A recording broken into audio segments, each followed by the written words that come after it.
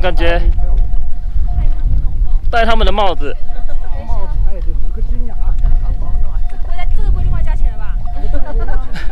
说好的哦，说好的、哦。哇靠！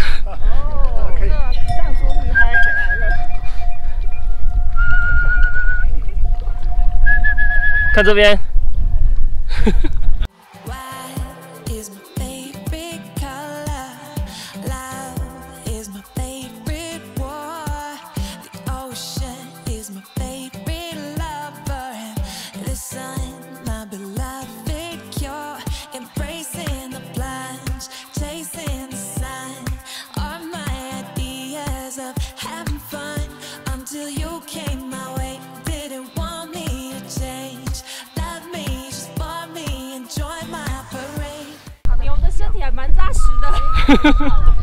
这个毛呢毛的感觉哦，哦，好粗哦，很粗，对不对？真的超粗的耶。嗯。这样踩上去吗？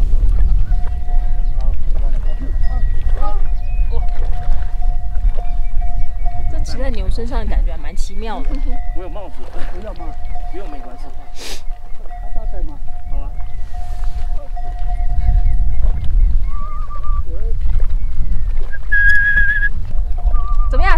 的感觉怎么样？就觉得还蛮，它的毛啊超粗的，很像那个大概我三个月没洗头的那种感觉。三个月没洗头的感觉吗？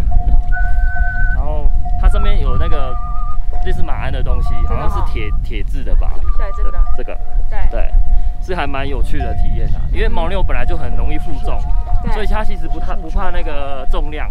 对，我们的重量对它来讲算还好。这个你在跟他讲的是什么意思？就是吹口哨，跟他说什么？山猪，啊？山猪，山什么？山猪，深都这个名字山猪，深读呃，山猪，生族什么意思？名字，名字，门嘴是什么？名字啊，山猪，不懂。名字，名字哦？哦名字哦，啊，名字哦。它叫它叫做什么？名它叫山竹，山竹，山山猪，山竹，山竹哦，山竹，山竹山竹是他的名字，对不对？啊，对对，哦，山竹你好。山主，那为什么要吹口哨？吹口哨是做什么用？啊，安抚他。好，我帮你照相。呃，吹口哨。啊吃吧，一二三，吃草，吹口哨。三哦还有是嗯这个对。，OK，这个嗯抬头抬起，哦，头抬起来。算是啊算是口令动作吗？对了，他听不懂好。就是他吹口哨是要让他的那个头抬起来。这个头抬这个，嗯我也会吹啊。特写，牛头很大。我也会吹啊。他才不会理你的。啊，在西德勒，